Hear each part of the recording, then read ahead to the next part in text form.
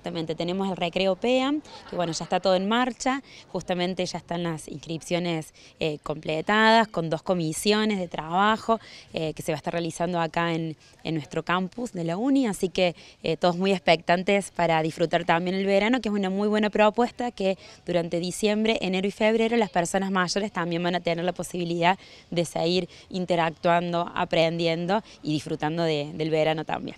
¿Qué actividades contempla este recreo PEAM? La verdad es que son actividades muy variadas. Principalmente vamos a disfrutar del aire libre, todo lo que tenga que ver con la recreación, lo lúdico.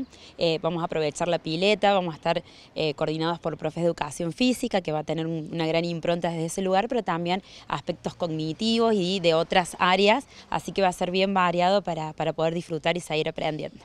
Por último, profesora, ¿cómo se preparan para el año próximo?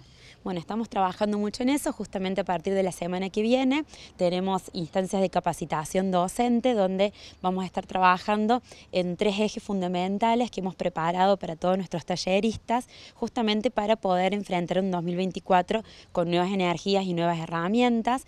Hemos abordado un área como más bien desde lo físico, donde vamos a tener capacitaciones de RCP para todos los docentes eh, y personal de, de PEAM.